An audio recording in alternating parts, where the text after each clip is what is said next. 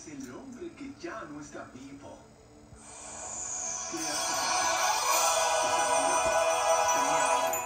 Pensé en cocinar una de esas carnes con las que me encerraste. ¿Me das un poco? Di, por favor. Por favor, no. Te oí con mi esposa.